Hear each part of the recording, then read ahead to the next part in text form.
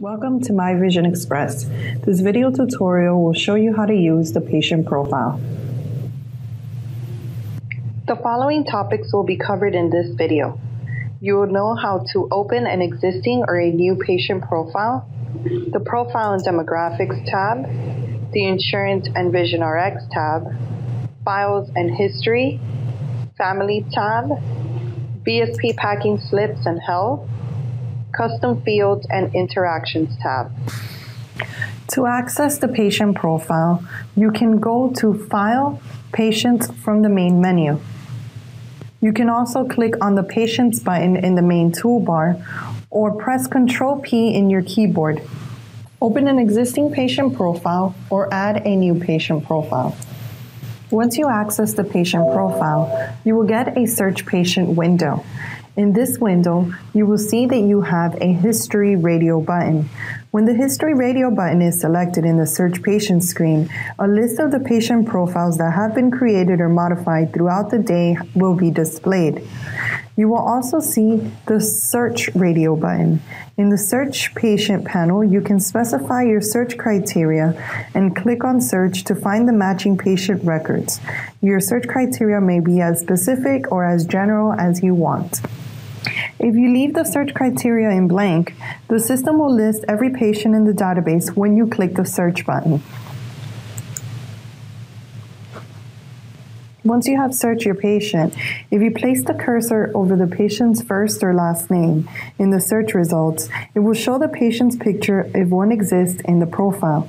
Highlight the patient record that you want to modify and click the select button to open it. To open a new patient profile, simply select the Add button on the right hand side. The Profile tab. This contains basic patient information. Once the patient profile has opened, you can specify the basic patient information under the Profile tab. Although most of the fields here are self explanatory, you should take the following points into account. Make sure that the active checkbox is checked for your current patients. If a patient is no longer to your, coming to your practice, for example, he or she has moved away, you can clear this box and then filter for it when setting up recalls or mailings. For all new patients, this checkbox will be checked by default. There are three different types of addresses that can be obtained by selecting the corresponding radio button for each one. You have primary, billing, and shipping. If correspondence to the patient has been returned by the post office as undeliverable, use the bad address box to flag the incorrect address. You can exclude patients with bad addresses when setting up recalls or mailings. In the email fields of the patient profile, you can enter the patient's current email address. You can select the black envelope on the right hand side of this field, and this will open up the email to send to the patient straight from here. If the patient consents to receive any marketing information, such as discounts or other promotional offers you may send through the mail, make sure that the Send Mail checkbox is selected. You can query this field in several areas of the system. The ethnicity and the race fields have certain selections that have been hard coded into My Vision Express and cannot be changed. There are some fields in this profile tab that can be modified, such as preferred language, smoking status, title, suffix. These fields can be modified under File Setup categories, and you can add to the list or remove from the list and tailor it to your specific practice. In this Profile tab, you will also find a preferred language field. You can select from three different languages that you can print material in English, French, and Spanish. Select the preferred language in this field and select the Print in Language box to make sure that all material that is printed is printed in the patient's preferred language. The patient profile provides a notes field where you can free type in any notes for your patient. These notes can also be deleted. At the bottom, you will also find a balance section that will show you any patient balances, any insurance claim balances, and the total of those balances. You will also see a last order diagnosis section where you will find order information from the last order that the patient placed. You can save a photo of the patient in this profile. You can use a camera button to use a webcam that is set up. You can use a capture button to use a scanner or a specific camera interface by checking off the dialog box. You can also select the Open File folder to bring in any pictures that you may have saved to your computer. From the Profile tab, you can also print labels for the patient by clicking on the Labels button. You can also delete a patient and all records associated with it by selecting the Delete button. This includes all appointments, exams, prescriptions, orders, and insurance claims. You must be an NV administrator to be able to see and use this button. Demographics tab.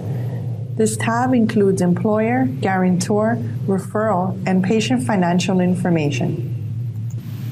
In this tab, you can enter the patient's employer information, under the CMS 1500 section, you can select if you have the signature on file.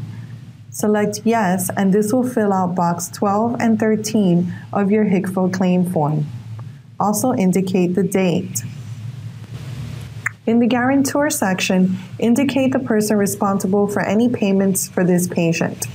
You can select Self. You can select if the guarantor is already a patient established in your practice, or you can select Other and indicate the relationship. The bill to guarantor box should be checked off. That way, anything printed for this patient will be addressed to the guarantor. You can also use the deceased checkbox. This will deactivate the patient and mark them as they have deceased, and you can also indicate the date. In the referral section, you can indicate how the patient was referred to your practice. If they were referred by an existing patient, select the patient radio button and search for the patient you need. You can also use the physician radio button and search for the physician from your physician list. You can also select Other. If you have a coupon or a flyer out in the mail, you can select from the drop down and indicate the referral. You can use the thank you box to indicate that a thank you has been sent for your referral. You can send a thank you letter right from the letters module here in the patient profile. In the financial section, you can specify a patient's credit card information. It will only be available here for reference purposes. It will not charge a patient. In this section, you can also use the accept checks box to indicate if you want to accept a check from a patient or not. You can also indicate any special discounts for materials or services, and you can also place the patient in collections. Insurance tab. In this tab, you will find the patient's insurance information. Their insurance tab has two subtabs for every insurance company listed. Those two subtabs are details and authorizations. To add a new insurance plan for the patient, click on Add and complete the fields below the data grid in the Details tab. In the Details tab, select the type of insurance that you're adding. You can also select a sequence for that insurance and use the Active box to make sure that it is active. When selecting the type and sequence for a plan, the combination of the values in these two fields must be unique. For example, if you added a vision insurance plan, for instance, and made it primary, other vision plans that you subsequently add cannot be primary as well. You can select the patient's insurance from your drop down list. If a plan has been made to go with that insurance, you can also select the plan in the plan field. Enter the insurance ID for the member if the insurance ID is a social security number that you entered in the Profile tab, select the SSN button. You can also enter any policy or group number. Under the Authorization subtab, you can enter the authorizations for the patient. Select the Add button on the right hand side. You can enter the authorization number, any benefit or service information, indicate what type of authorization you have, put in any allowance or copay information. Any allowance or copay information entered here will carry over to any orders placed. Any benefits and co-payments set up under the Authorizations subtab take precedence over any benefits set up in the Insurance Plan Fee Schedule setup. Under this Insurance tab, you can also scan the patient's insurance card into the MVE database by selecting the Scan button. Vision RX tab. Here you can enter and modify prescriptions for your patients. This tab allows you to enter and modify prescriptions and create orders. It also displays all of the prescriptions that have been created for the patient from the exam module. This also includes expired and discontinued prescriptions, which will be displayed in a darker gray background. To add a new prescription, use one of the buttons in the Add New RX group panel. The prescription window will open where you can enter all of the necessary information found on your patient's prescription. Start off by selecting the physician. If the physician is not found on the drop-down, you can select the ellipsis button on the right-hand side to add them to the list. You can select the duplication checkbox if you're duplicating a prescription, enter the RX date, the expiry date, indicate any usage, specific lens material, style, or PD information that may be found on your prescription. Use the checkbox under balance if you need to indicate a balance for the OD or the OS. You can also use the equals button for OU prescriptions. This will copy over the OD to the OS. In the sphere, cylinder, axis, and add sections, you can free type in the prescription or use the drop down selection. At the bottom of this window, you will also find a transpose button for your plus cylinder. You can select the transpose button and this will do all of your transposing for you. This will reduce any errors. You can use the fill button to go to an order and fill this prescription. You can also use the release checkbox to indicate that you're printing an RX for your in-house patient. You can also use the lock checkbox to lock the RX. If an RX is locked, only an NV administrator can unlock it and make changes. When entering a prescription for soft contact lenses, select your physician from the drop down list. If the physician is not found on the drop down, you can use the ellipsis button to the right hand side. Enter your RX date, the expiry date. You can also indicate any dominant eye. Start off with the OD button, select OD. This will generate your inventory of contact lenses.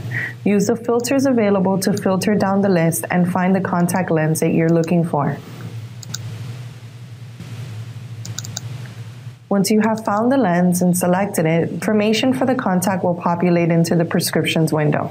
You can use the equals button to copy over for OU prescriptions. Indicate if you're printing out the prescription for your patient with the release box. You can lock the prescription. You can also indicate a replacement schedule and any specific contact lens care. Once your prescriptions have been entered, you can edit an existing prescription by double clicking on it, or you can highlight it and then click on the Modify button on the right hand side. You also have the following options. You can use the Copy button to create a copy of the prescription selected, but with the current date. If you have an expired prescription that you want to reuse for an order, you can make a copy of it rather than editing the date in it. That way, you can leave a consistent information trail by leaving the original prescription intact. Generate a prescription letter with the letters button. You can also delete or print a prescription. You can email, fax, or you can use the order from RX to generate a new order based on the prescription selected for the matching type. File tab. Under this tab, you will be able to attach computer files to the patient's record. To attach a file under the File tab, you can click the Add button on the right. Enter a category and a description once the new line is generated. You can select from the drop down of categories. To attach a file, select the Attach File button on the right hand side. To link a file, make sure you select the Link External File box. To attach a scan, select the View button on the right hand side. The History tab. In this tab, you can see the patient's history of orders, appointments, exams, and claims. In the Orders subtab of the History tab, you can toggle between a summary line for each order or a listing of individual charges and payments by clicking on the Show Details button on the right-hand side. If you need to print a receipt for an order, select and highlight the order and select Receipt. To view a completed order, you can select Order Details. Under the Appointment subtab, you can add a new appointment for your patient by selecting the Add button on the right-hand side. To view an appointment's details, you can select and highlight the appointment and double click on it, or you can select it and select the Details button on the right-hand side. If you are an administrator, you can erase an appointment by selecting it and selecting the Delete button. Use the Refresh button to refresh the data window and display modifications made to any of these appointments. Under the Exam subtab, you will find a history of the exams that the patient has had. You can add an exam by selecting the Add button on the right-hand side. To view the selected exam, highlight it and double-click, or you can select the Details button on the right-hand side. To duplicate an exam, you can select it and select Copy. If you are an administrator, you can delete an exam by selecting and highlighting and selecting the Delete button. Under the Claims tab, you can open a claim by double-clicking on it or highlighting the line and selecting the Details button on the right-hand side. To generate a duplicate claim, select the claim and click the Copy button. If you are an administrator, you can select a claim and delete it with the Delete button. Family tab, link together patients that belong to the same family.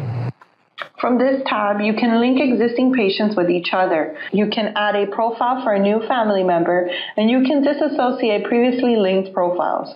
New patient profiles that are added from this tab will share the same address and home telephone number from the profile that is currently open. The family members grid will show you all of the members in the patient's family. If you hover over each family member, you will show their insurance information. This grid has the following functions. To add a new family member, select the Add button. This will add a new patient in the database. To open an existing patient profile and link them to the Family tab, select the Search button. This will open up the Search Patient screen where you can add a new member. If you want to open the patient profile for a particular family member, select them and select Modify. If you want to disassociate a family member, once you have selected them, select the Disassociate button to remove that person from the list of family members. VSP Packing Slips tab. Here, you can generate the doctor report and packing slips for VSP authorizations using the VSP interface. In order to use the VSP packing slips section, you will need to have the VSP interface set up. Also, VSP authorizations must be first processed from the Authorization subtab of the Insurance tab in the patient profile. The Health tab. Health information shared between the patient profile and the exam. The Health tab in the patient profile shares the same health information as the Health tab in the exam module. Here, you can capture any health information for your patient, such as medications being taken, allergies, any problems, any vital signs, and etc. You can go more in detail about the Health tab in an exam video. Custom Fields tab. Here, you can create additional fields to get more information about the patient. In the Custom Fields tab, you can see custom fields that were defined during the setup under File, Setup, Patient Custom Fields. In this list, you will be able to give your field a specific name, create your question, and display it in the Custom Fields tab. Interactions tab. The Interactions tab is divided into three additional subtabs correspondence, consents, and messages. Under this tab, you can keep track of every time the patient record was accessed, every consent letter created for the patient, and every time an employee message was sent regarding a patient. The interaction record includes the day and the time when the interaction took place and the name of the employee that created it. The employee can edit the category field and the note field at the time when the interaction gets created under the Notes section. You can add a note to the latest interaction by double clicking on the highlighted line or highlight the line and select Modify on the right hand side. This will open up a Modify Interactions window where you can specify a category and enter any notes. Under the Consents tab, you can click the Add button on the right hand side to create a new consent letter for the patient. You can double click on an existing consent record to open the original consent letter. If you want to replace that, you can select Replace File on the right hand side to browse for a replacement file in your computer. Under the Messages subtab, click on the Messages button on the right hand side to create a new message Click the Add Message button to create a new message that refers to the current patient record in the Employee Messages window. Under the Interactions tab, you can create an interaction alert for important notes that you want members of your staff to see when they access this particular patient record. To create an interaction alert, double click on the latest interaction to open the Modify Interaction dialog. Here, you will enter the category and your note. Select the alert box at the bottom of the window. If you want to limit who gets to see this alert, you can select the user from the Send To field. Select a user or a specific security group. You can also specify an alert level, either global, module, or item. This concludes this video tutorial on how to use a patient profile. Thank you for choosing My Vision Express.